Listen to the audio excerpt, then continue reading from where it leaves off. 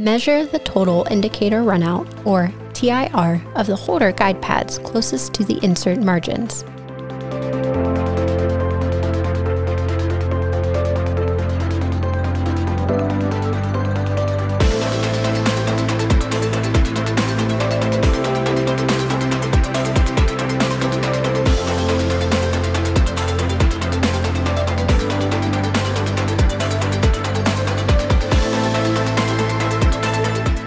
Loosen the insert mounting screws.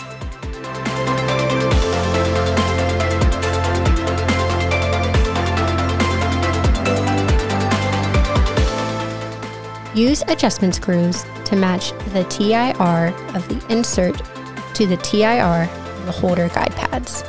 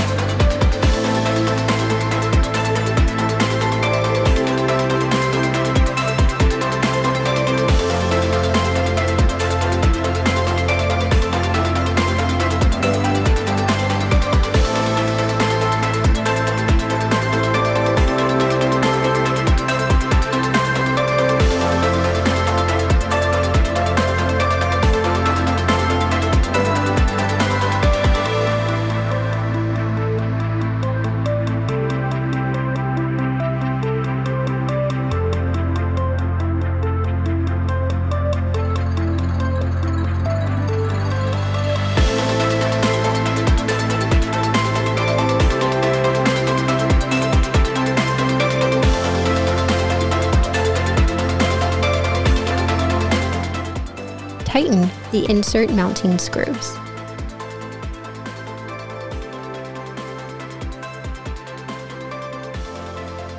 Measure the insert TIR to confirm it matches the TIR of the holder guide pads.